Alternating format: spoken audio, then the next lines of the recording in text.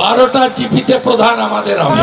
পঞ্চায়েত ভোটের আগে পঞ্চায়েতের রেজাল্ট শুভেন্দু অধিকারী। সতেরোটির মধ্যে বারোটি পঞ্চায়েত যাবে বিজেপির হাতে কি শোনা যাচ্ছে মাসিমা? ভোটের আগে ভোটের রেজাল্ট দিয়ে দিল শুভেন্দু অধিকারী। কিচ্ছু যায় আসে না। কেন মাসি? এটা কখনো হয়? হয় না?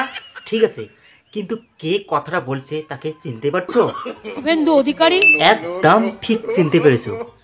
এক সময় তৃণমূলের কাজ করতো। তোমার খুব কাছের মানুষ। এই শুভেন্দু অধিকারী তোমার সাথে বেইমানি করল। তুমি কি বলতে চাও ওকে? এই কর্মীটা সিরিয়াস কর্মী। সিরিয়াস কর্মী বলছো কেন?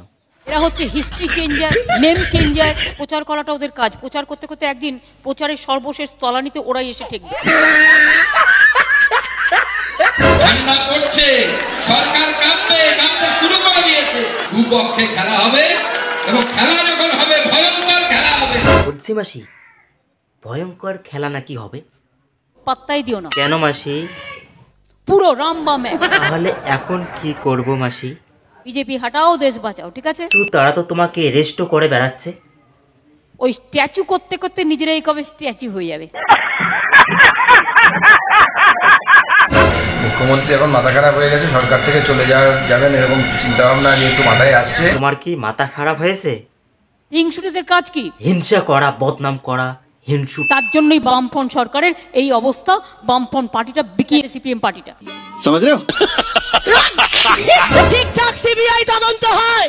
সমস্ত তৃণমূল নেতা নাইনটি পার্সেন্ট তৃণমূল নেতা জেলের ভেতরে যায় কি বলছি মাসি? এই মহিলা?